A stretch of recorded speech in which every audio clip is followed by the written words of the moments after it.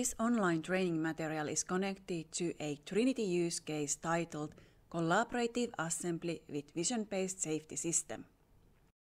Presented solution is developed in Horizon 2020 project called Trinity. The main goal of the project is to support the European manufacturing SMEs to improve their agility in production. For short introduction to Trinity project, you can watch a video linked here. This use case is presented by Tampere University, the coordinator of Trinity project.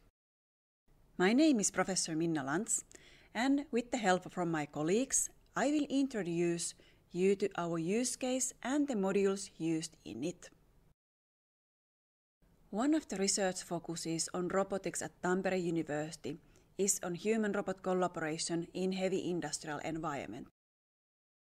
In this training module, you will learn the basics of our use case, collaborative assembly with vision-based safety system. This training module introduces a projector-based safety solution for more flexible human-robot collaboration in assembly. For these training module videos, you do not need any additional equipment. Basic understanding of industrial robotics and assembly is recommended.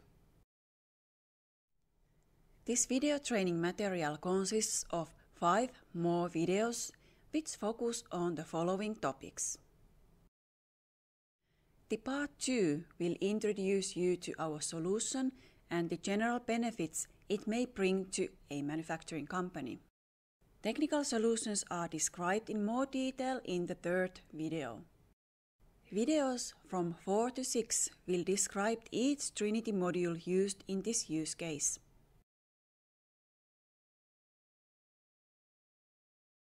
Thank you for joining us in this Trinity web lecture on collaborative assembly with vision-based safety system.